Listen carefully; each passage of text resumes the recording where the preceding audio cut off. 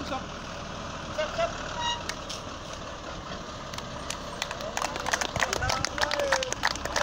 Yeah, give, give Malik. Give, give, give Malik.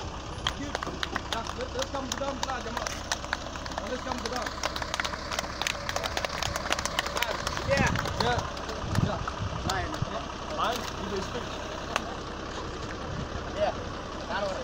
Uh, this is one of our new rigs that just arrived to our South Sudan compound in Wau.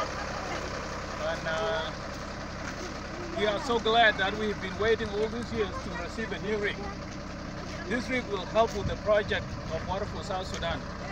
That means we will have a new drilling rig that will help the, uh, increase the numbers of wells that we've been drilling all these years. So I want to uh, thank Iron Giraffe Challenge capital campaign.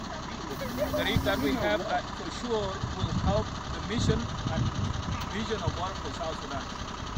And all the donors who have contributed a lot of money to make it possible for us to buy a new rig. Uh, I want to thank them again for what has happened today. Receiving a new rig is really a blessing to this organization. And this is, will help very much with everything that we do here in South Sudan, especially getting uh, clean drinking water.